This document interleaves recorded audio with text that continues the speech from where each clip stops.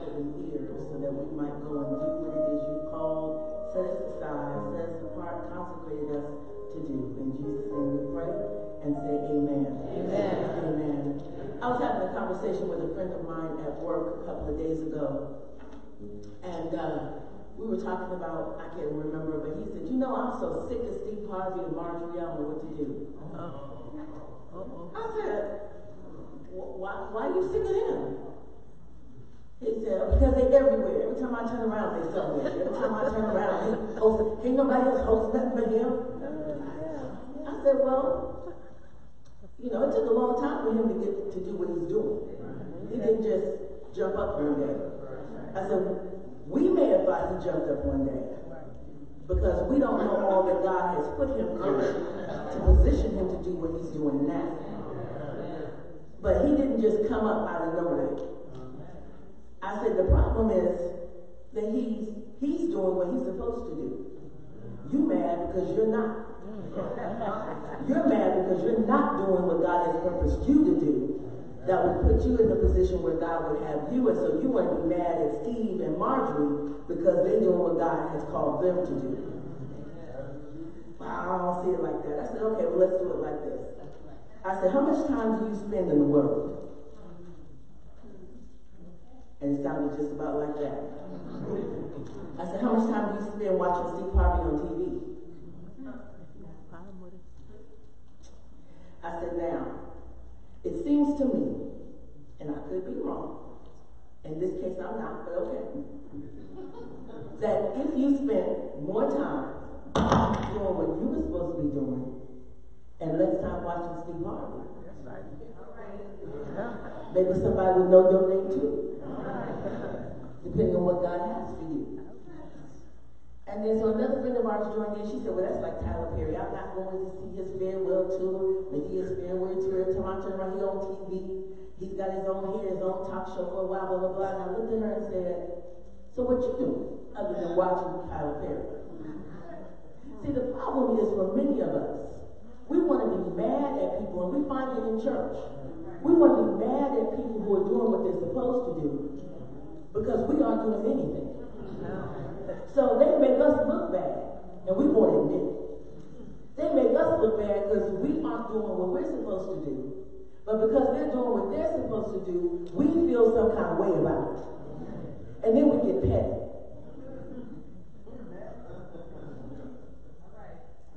I don't know why she don't sit down. Every time I turn around, she's doing something. Which reason she's doing something is because you ain't. So if you got up and did something, maybe she could sit down. And if the truth be told, she wants to sit down. She's tired. But you're so busy just being petty and not doing what you're supposed to be doing.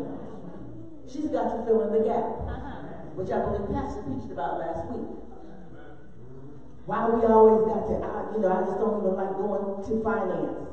I don't like what they're doing. Well, why don't you go help? Well,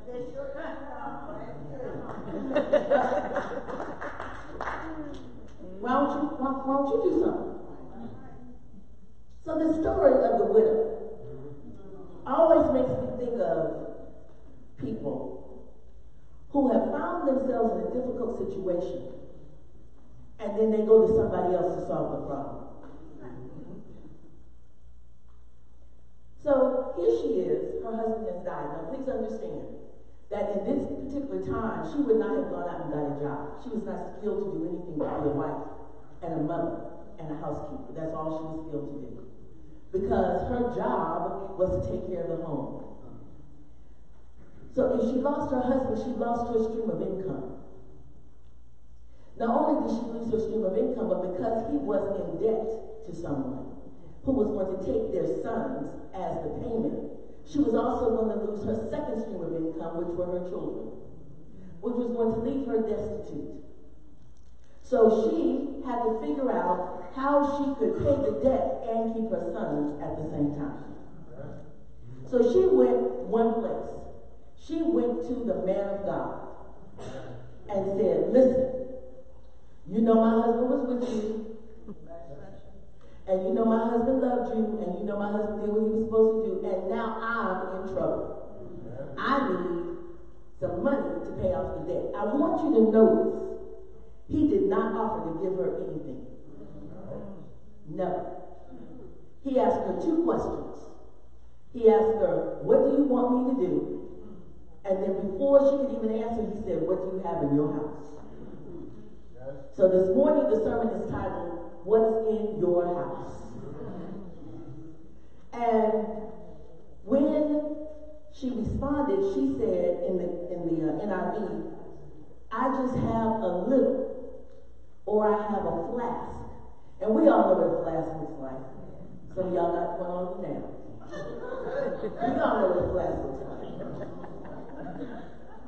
So all she had was a flask of oil. She didn't have enough to do what the prophet was about to tell her to do. So she said, All I have is a little. We often look past our own gifts, our own talents, our own abilities, our own skills to get our needs met and expect someone else to do it for us. Anybody here got grown kids? Mm-hmm. Y'all know what I'm talking about. Too often, our grown children find themselves in positions they have reaped, they have sown something, and now they want us to reap it. And so they come, mom, dad, auntie, grandma, granddad, whatever, and they spill the story, and then they want us to fix it. Generally, they want us to pay something. Let's just be honest. But what the man of God did, what I, Elijah did, was he said, What's in your house? In other words, what do you have that can meet your need? She said, All I have is a little oil. The first point I want to make here is you need to stop looking outside yourself for what God has already placed in you. What you need is in you. A lot of us call cry broke all the time because we're not using the gifts, the talents, the abilities, the skills God has given us for us. We are willing to to work and let somebody else tell us what we're worth and work for them all day long, half into the night, work overtime and do all that for them, but we won't do it for ourselves. We are willing to sow into somebody else's promised land, but we're not willing to clear the weeds in our own. We are willing to go and work for, for whoever, doing whatever they ask us to do. And sometimes we're mad about it, but we're willing to do it. But we won't take the time to take those very same skills, abilities, talents, gifts, and go and do for ourselves. And then we want to figure out how come I'm always broke. Well, you always broke because you're still not doing what God has given you to do. Because God said He would give us strength to make wealth. Not wealth for somebody else, wealth for ourselves. But we are so comfortable doing our 8 to 5 and then going home and watching the folks we want to be bad about. Point number two, the widow had to release her faith. Elijah, again, didn't give the widow anything. He said to her, What do you have? And all she had, in her opinion, was a little bit of oil. The oil in Scripture represents the anointing. The anointing comes from our abilities, our gifts, our talents, our skills. We are anointed to do certain things. I'm anointed to be able to teach. I'm anointed to be able to preach. I'm anointed to be able to do certain things, and those things are mine. You should never be upset about what somebody else is anointed to do when you still ain't doing what you're supposed to do. Right? You shouldn't get upset because somebody's doing something because what they have to do is not yours. The question for you is, what is yours to go do? And then why aren't you doing it? What do you need to do to go do what God has called you to do? You see, she didn't go to the company of women from the company of men that had followed Elijah and give them the problem. She didn't go and ask them their opinion. She didn't go ask them what was going on. She didn't go ask them for anything. She went to the source because what she needed was she needed to suspend the natural so she could get the supernatural. Ah. She needed to stop what was going on in the natural and allow the supernatural to take over. So she had to release her faith. Because when he said, I want you to go home and I want you to get a jar and not a few, Right then, some of us would have stopped.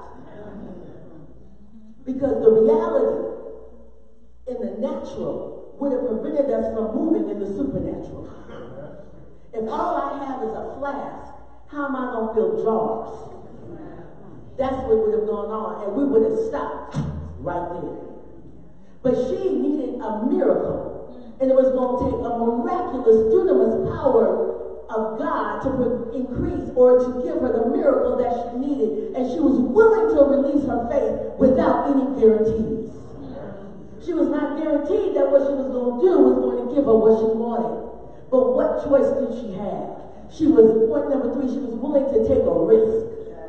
Some of us are not willing to risk on ourselves. We're willing to take a risk on a job and you don't even know if you're going to have it tomorrow. You're willing to take a risk on putting your money in a bank and you don't even know what's going to fold.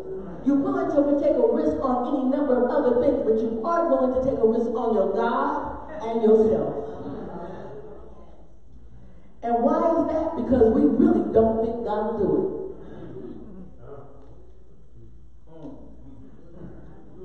And why won't we risk on ourselves? Because we keep holding ourselves to our failures. I tried it before, I didn't, it didn't work, I blew it, I messed up. Okay, but that was then. What'd you learn? Let's move on. Right? But we don't.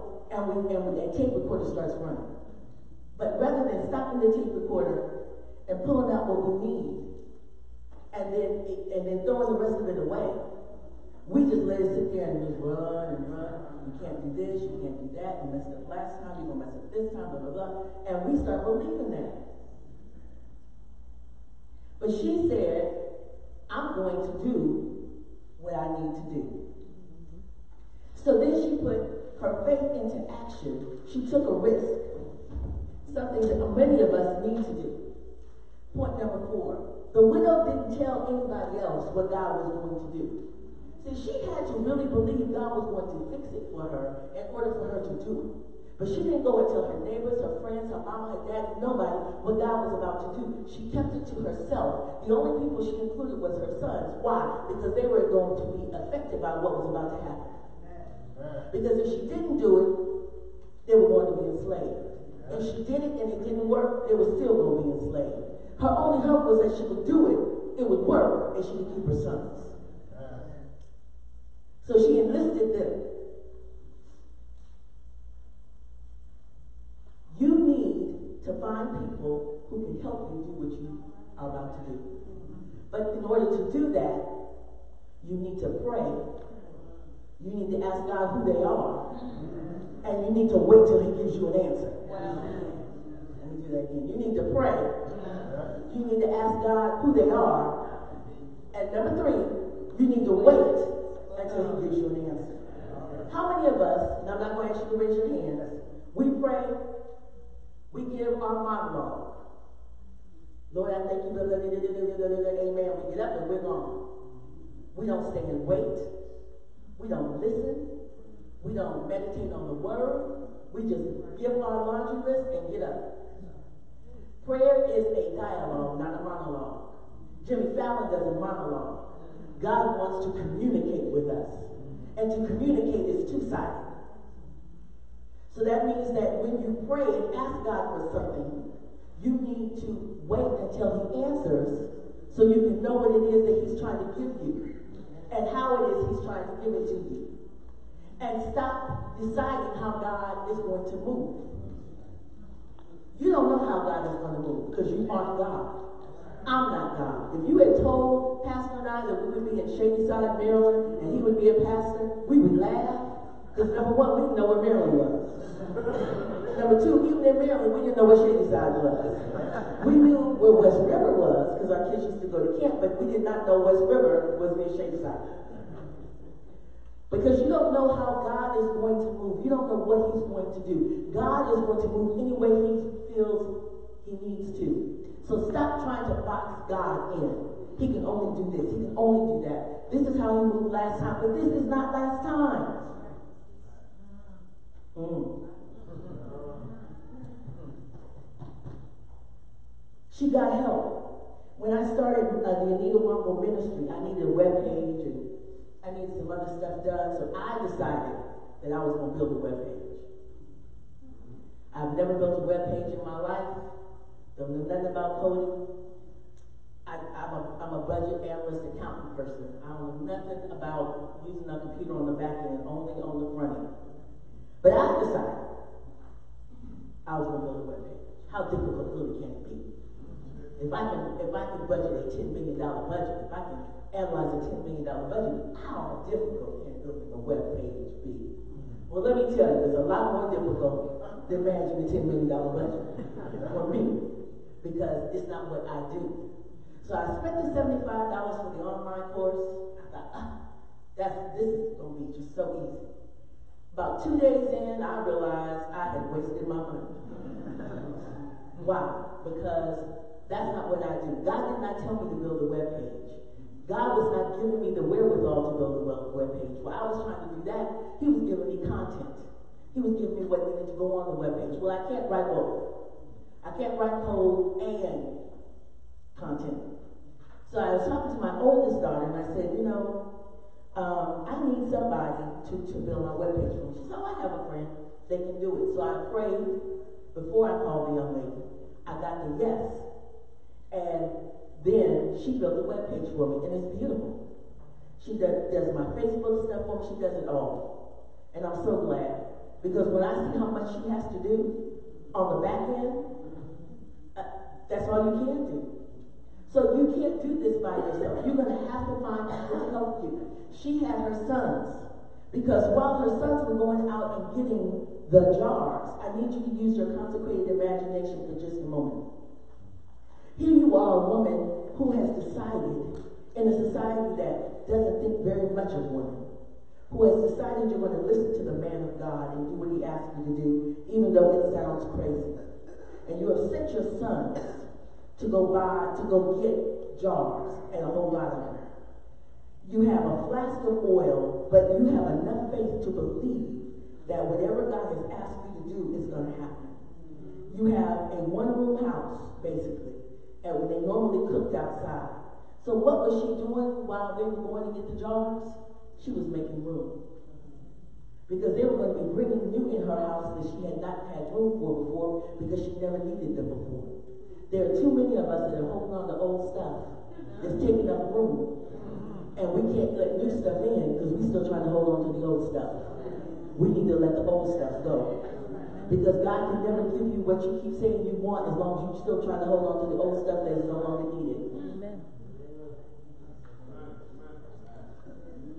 Next point. She did not try to figure out where her blessing was coming from. Now I'll be honest. If God had given me that direction, I would have done it. I would have sent my kids out, got everything, sit there, and when I started pouring, and it was coming out more than I thought, by about that second drive, I'd be trying to look in to see how much was in there. I'll be trying to figure out where the blessing was. How is this? It's not making sense.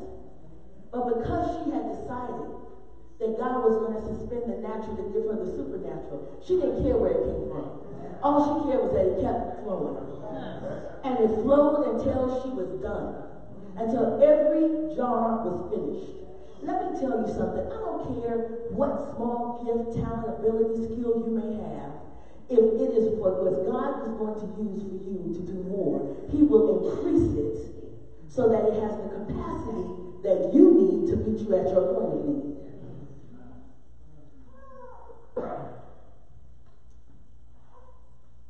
Next thing, she wasn't petty. When she went to her, to the man of God, when she went to Elisha, she didn't say nothing about nobody else. She talked about her. She talked about what was going on with her. When Elisha told her, go in the house, shut the door with you and your sons and pour until all the jars are filled, she didn't tell nobody else. She kept everything to herself. She kept it done. Many of us are too busy trying to see what other folks are doing. And concerning ourselves with stuff that really is not our concern. And trying to be everywhere but where we need to be. So that we can always keep up with what's going on in so and so's life. That we miss out on what it is we're supposed to be doing. Keep your nose in your business.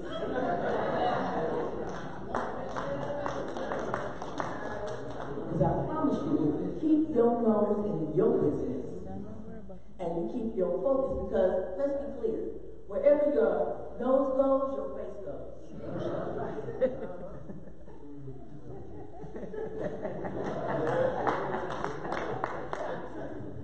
Uh-huh. So if you keep your nose in your business, that means you are focused and facing that which is yours and rightfully yours to be focused on. So keep your nose in your business, as my grandmother would have said. And last, I'm going to just put this one little piece in there. At the end, in verse 7, when she had poured everything and she asked her sons, bring me another jar, and they said, we don't have any more. I just envisioned her house full of jars. Huge jars, little jars, wide jars, narrow jars, jars everywhere, all over. Anywhere she could get them, there were jars. She went out and she talked to the man of God, and he said to her, Go and sell the oil and pay your debt, and you and your sons can live off what is left.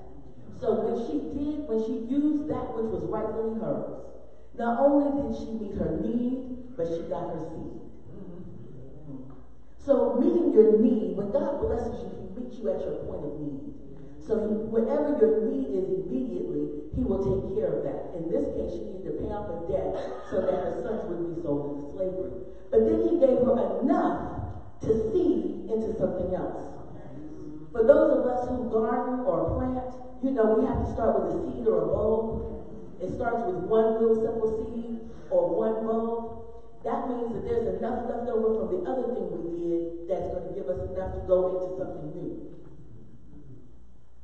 So he gave her enough to take care of the need, the immediate need, and he gave her enough to sow into something new. So that she could have another stream of income. So not only could she have the stream of income that was going to take care of the debt and take care of her and her sons, but now she had enough income where she could go and buy a, a lot if she wanted to and plant. She had enough to go and do something else. Many of us, when God blesses us, we take care of our needs, but we don't ever do anything with our seeds. We spend it, but we do not think about another stream of income. So the need is met. The seed is in your hand. Are you going to spend it now or are you going to plant it for a harvest for another day? Because one thing that the furlough should have taught all of us is there is not a job that is guaranteed anywhere. Right? Those of us who have these good, government worker, those of us who we have these good government jobs, we thought, oh, you know, I'm what we call a PFT, so I'm permanent full time. Even if I get drunk at work every day, it's going to take me three years to get rid of me. Right? So some of us have felt like it's, you know, we, we, got, we got it made. I hope you realize during this furlough, none of us fall in that category. Nobody. So I'm hoping that many of us will be like those sisters who had the furlough cheesecakes.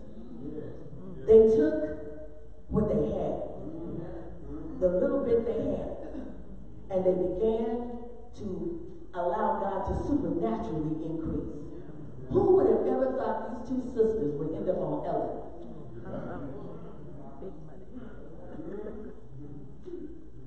Who would have thought that these two sisters would be selling cheesecake all over the world? But they took what they had, as small as it may have been as just a cheesecake. We're not talking about anything major. Some cream cheese, some graham cracker crust, some milk, I mean, you know. And they made a livelihood out of it. What do you have in you, in your house, can make a livelihood out of it if you were willing to work it? I stand before you today and ask, what's in your house? What do you have? What are you willing to give to God to allow Him to take, to suspend the natural and give you the supernatural? What's in your house? May God bless you.